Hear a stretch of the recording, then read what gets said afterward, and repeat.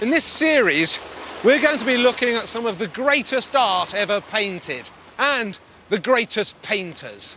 Monet, Renoir, Van Gogh, Cézanne, Gauguin. The story of Impressionism is their story.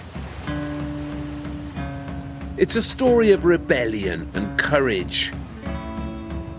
Monet painted some of art's bravest pictures. Renoir, some of the liveliest. Degas unleashed the ballet. Seurat unleashed the dot. Van Gogh, well, he unleashed colour. I think it's the most exciting mutiny in art. The days when everything changed.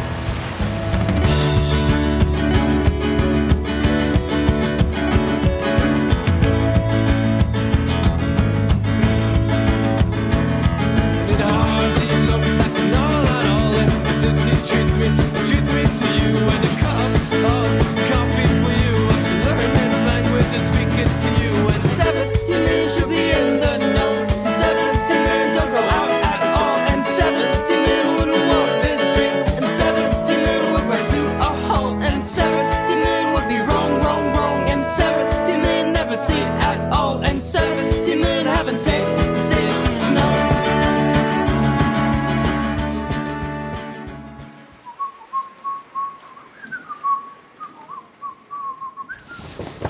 Good morning, Tom. Good morning, sir.